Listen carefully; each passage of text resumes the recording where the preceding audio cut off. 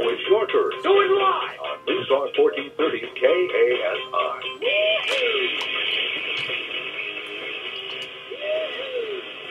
This is the afternoon. It is your turn on News Talk 1430 KASI. I have decided to wear a singlet for the rest of the program. I'll let you paint the mental picture. You're welcome. It is your turn. It is your turn on News Talk 1430 KASI.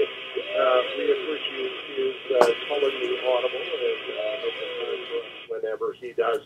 Joining us on the Newsmaker line right now, Iowa State University political science professor Steffen Schmidt. Hey, professor. Good afternoon. Well, that's pretty rowdy music there. We're rocking it. That's how we. Yeah, I'm not used to that. I'm an academic. Yeah, we, we bring it strong. Yep. Which is not true because I remember uh, I remember calling the professor's office a few years ago, and he said to me, and I'm quoting now.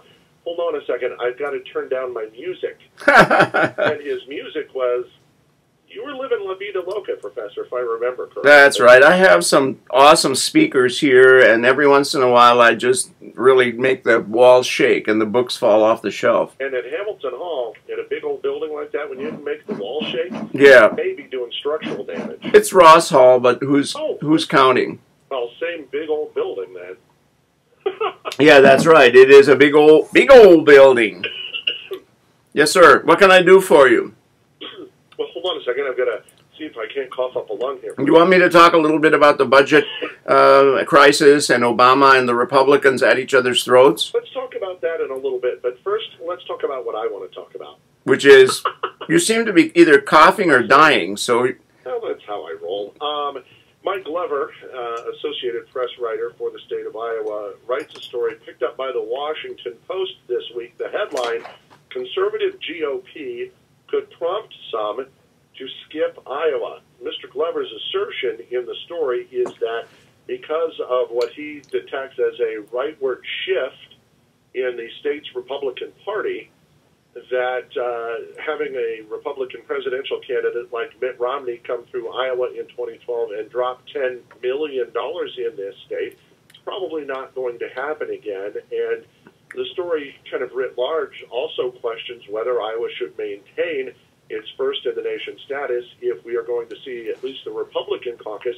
being dominated by the most conservative people in the state. Let's remember Mitt Romney dropped $10 million in this state. He put two, 200 people on his payroll in Iowa to finish second to Mike Huckabee. So does, does Glover make a point here, Professor? What do you think? nah. All right, thanks. Uh, we'll talk again. Okay, we'll see you next week. Thanks. Look, look. Um, coming in second for Mitt Romney in Iowa was very good. And as I recall, neither Huckabee nor Mitt Romney got the nomination. For that. And the guy that never came to Iowa is the guy who got the nomination because McCain skipped it.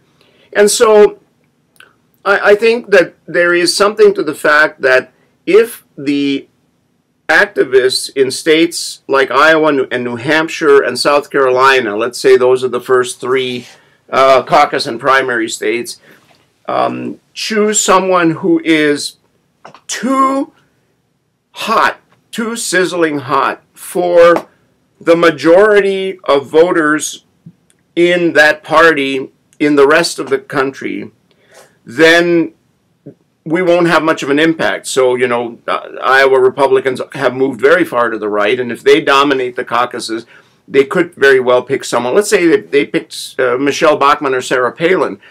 That probably would uh, mean that the Iowa caucuses did not choose the winner or one of the top three nationally because I think uh, even though that person might win in Iowa, they probably wouldn't do so well in the Republican primaries in the rest of the country. Um, the Democrats also can't afford to pick too sizzling hot a lefty in in the Iowa caucuses when when they're doing their job because for the same reason, you know that Okay. you know you want to go on and you've got to get somebody nominated first of all by the party activists in the rest of the country and then step two and I've, I've, I've written about this in insideriowa.com there are a bunch of articles and i did a blog the other day a video blog so you can actually see me spouting off and the hot air coming right out of my mouth um, saying that um, you know, the, the party can either go ideological and then it, it will stick with principles and with the faith of the, of the faithful, but then they probably won't win either the nomination or if they choose the, the person who is that sizzling hot, they probably won't win the general election because you and I have talked about this, and your listeners are very smart people. I run into them all the time uh, in in all kinds of places, and they they they love your show, by the way. But secondly, they uh, understand that the independents, the no party people, the un- unaffiliated in the end, in November uh, of 2012, are the ones who are going to deliver the, the, the presidency. Well, and they're not going to go for someone who is too conservative. And you made the point uh, on the program before uh, you can hold to your ideology, you can stick to the courage of your conviction, and, you know, if you don't mind losing, uh, you can do that. Yep. Apparently, you know, there are going to be some times at which you may have to, uh, if not take a position that you're not comfortable with, at least not rail against it from the top of the mountain. Um, Iowa Socialist Conservatives who have, I think I remember even going back to 1988 when they gave, um, uh, oh, and I can't remember his name. It wasn't Buchanan that took second place in 1988. Uh, Pat Robertson. Yeah. Took second place yeah. in Iowa in 1988 behind the guy who didn't win the presidency. Right. Um, so you know, like, is this a recent phenomenon? No, it's not. That's that's very a very good point. You've got that historical perspective, and and that really helps your listeners because this stuff, you know, it doesn't just come up. It's it's part of a, a process, and you'll remember that when Goldwater was able to get the nomination, he did horribly in the general election, and when McGovern uh, got the support of very liberal Democrats, the same thing happened to him that happened to Goldwater. And so there's a choice to be made. And I'll be Professor Schmidt for a second, okay? Hold on, I'm going to write this down. Okay. Go ahead, go ahead. All right, and there'll be quiz, a quiz, you know, later. um, there are what we call parties of principle, and those are parties that always stick with the actual philosophical and ideological principles of their beliefs about morality and the economy and other things, um, in, you know, regardless of the consequences in the more general political process. So those are called parties of principle. And then there are what are called more pragmatic parties. And those are parties that adjust their principles so that they are not too far out of line with the principles of the majority or plurality of Americans around the country, as uh, this is for presidential elections. The Republicans stand a chance of now becoming more a party of principle where they will not compromise on the things that they feel strongly and passionately about. And that's, that's commendable. But parties of principle in the United States, hold on, hold on, I'm, I'm, almost, I'm still writing. They never win elections. No, they don't. And the reason is that, you know, they, the, the rest of the country doesn't buy into the principles if they are too clear cut.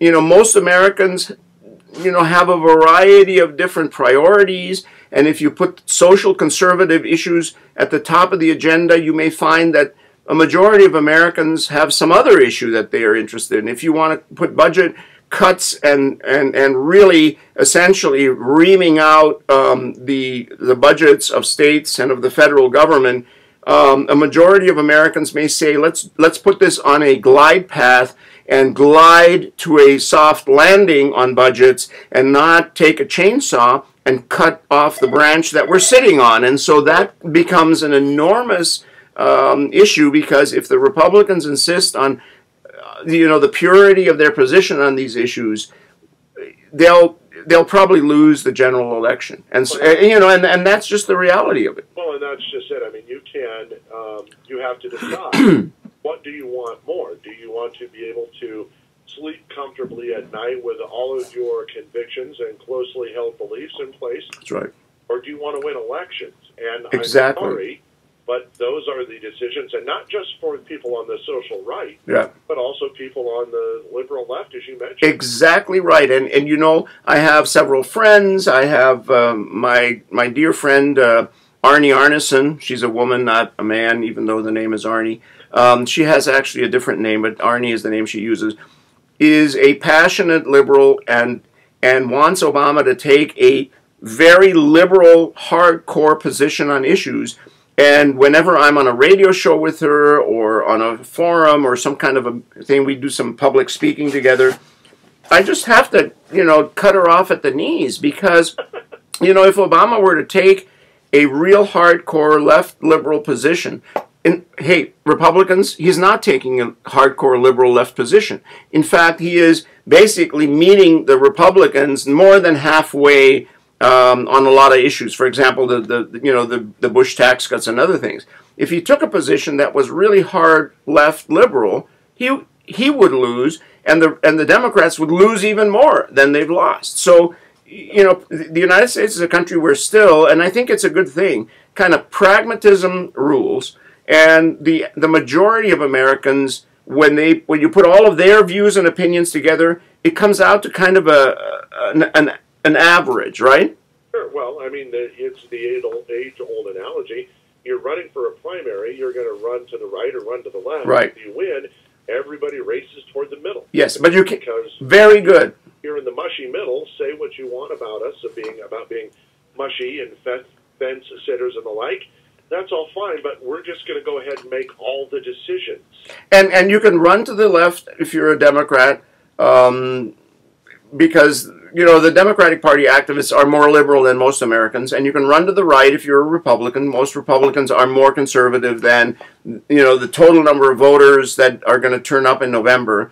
But if you go too far to the left or too far to the right, then you end up essentially uh, driving off and scaring off enough people that you can't run to the center again in November. Um, and, and, and that's just the way it is. And you can hold up your placard that says no more compromises, but you can also put in parentheses underneath that, and no more winning either. Well, that's right. I mean, you, you run the risk. Now, the Republicans did remarkably well this in 2010. Remarkably it, well. It wasn't, but you know, you, you certainly are more versed in this than I am, but just like in 2008, as it was in 2010, they weren't voting for people; they were voting against people. Yes, and and and the Republicans have decided that they had a certain mandate. And when I look at why people voted for Republicans, what the Republicans think the mandate was isn't what why people were voting for. And so you got to be very careful not to misinterpret the mandate you got and then push policies that actually people say no no no no that's not what we voted about. And so you know that's that's the risk.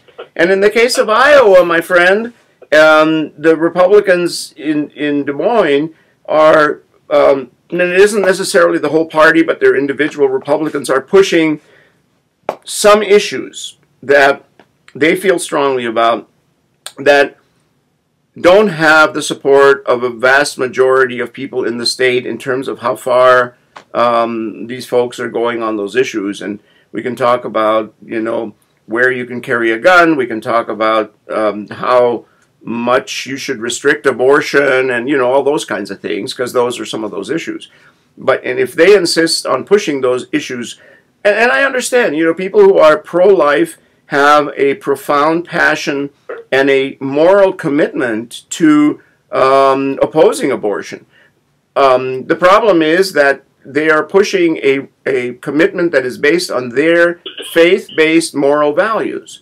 And it may be that others, even though others may be Christians and maybe Jews and maybe you know other other religious faiths, um, don't have you know a position that is that um, let's call it clear cut on an issue like abortion. If you ban all abortions in Iowa, I think a lot of people are going to say, wow, you know, somebody gets raped um, and and just you know does not want to carry that um, you know that uh, child or somebody um, you know has incest committed on them. You know, those are issues where people, a lot of people feel, you know. Yes, sir.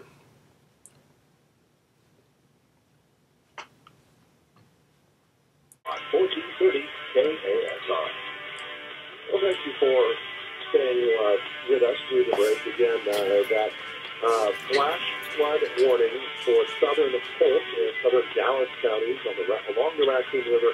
Uh, some ice jam flooding today. We're getting on an ice jam. Woo! This is Low Six out, everybody. Uh, it is your turn on News Talk 1430 KASI.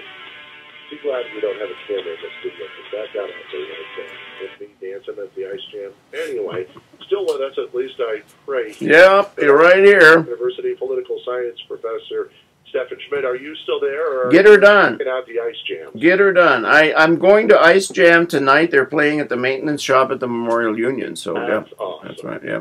Um, so here, the president uh, releases his uh, budget, a three trillion with a T trillion dollar budget, and here's a little secret. And who didn't see this one coming? The Republicans don't like it. They say, shocking, it spends too much money and doesn't cut enough spending. Wow, who didn't see that coming? Well, that's right. I mean, uh, we have a problem. We have two different visions of how you deal with the United States in a in a big picture way. One is that budget um, deficits and the federal debt are the biggest problem the country has, and we have to deal with those immediately and, and really in a, in a serious and severe way.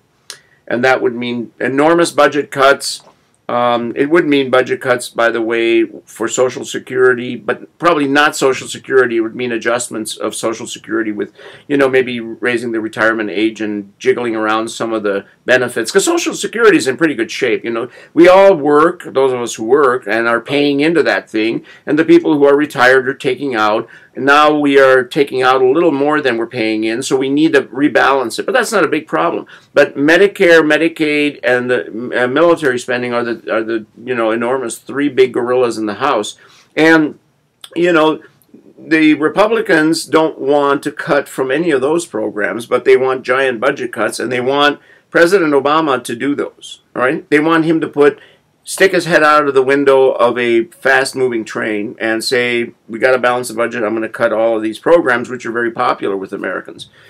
President Obama says, no way, Jose, because if we're going to do some tough things, we're going to do them together. And Democrats and Republicans are going to have to come together and we're going to have to hold hands and say, we're together on this. This is not a political issue. It's not us versus them, me versus you, but it's we, we got to do some things here, and we both will take the political hits from it equally. And unless that happens, nothing is going to happen. So Obama says we can't slash the budgets and and federal spending as drastically as the Republicans would like because we're in a fragile recovery, and if we do that, we're going to basically pour a, a, big bucket of water on the little, you know, when you try to start a fire in your fireplace with some paper and some other stuff, and you light it, and there's that little flame.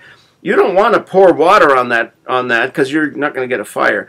And so he says, let's do some budget cuts, but there are some areas where we need to invest, and we want to develop technology and move ahead. And so the idea is the Republicans view it as we're gluttonous and spending too much, we need to cut it and go on a diet. Obama says we need to uh, finish the recovery and we need to invest in the future as well. We, we, if we just cut budgets, we're going to lose competitiveness. And between those two things, you know, there's a big gap. And so they're going to have to figure out a way how to bring together those two philosophies. It's a philosophical difference, well, really. What's fascinating to me about the whole thing, with uh, with three minutes left, and I've you know, if this is going to sound like a partisan statement, I yep. don't intend it to. Yeah. But here it is anyway.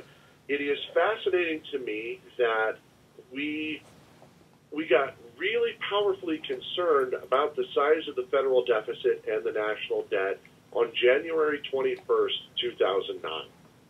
We what? really didn't care about it a whole lot before that as we were passing along tax breaks and we were, uh, you know, getting ourselves involved in two land wars in, in uh, the Middle East. We didn't really care about it then. January 21st, 2009, boy howdy, we're not going to let you spend away the riches of our grandchildren, Mr. President. Uh, the thing is, they're continuing to sell that story, and the American people are still continuing to kind of buy it.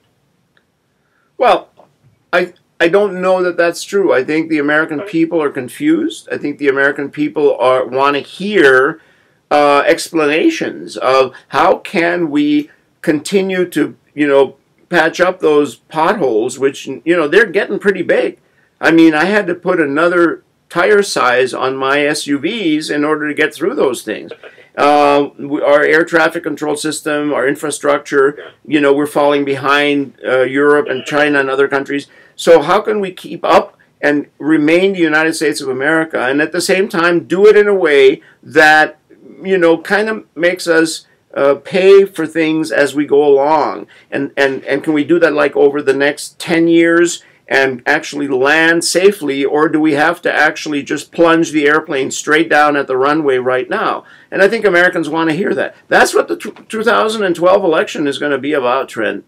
This is exactly, it's how do we get from here where we are, where we really don't want to be, to over there where we know that that's you know where the United States should be, and it's going to be a rough ride. There are a lot of thunderstorms in there. Professor, we as always appreciate it. Your insight is valuable. Uh, we will talk again next week, sir. Thank you very much. Great talking to you. Iowa State University.